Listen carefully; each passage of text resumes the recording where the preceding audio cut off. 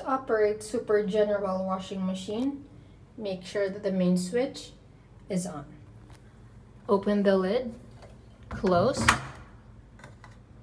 open the cover and put the soap inside, close, twist this knob to turn on and to set the program you want to choose.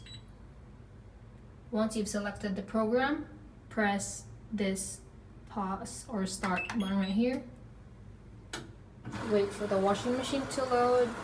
Once it's done you will know that the timer will stop. You can turn off the main switch open the, the cover again and turn off the main switch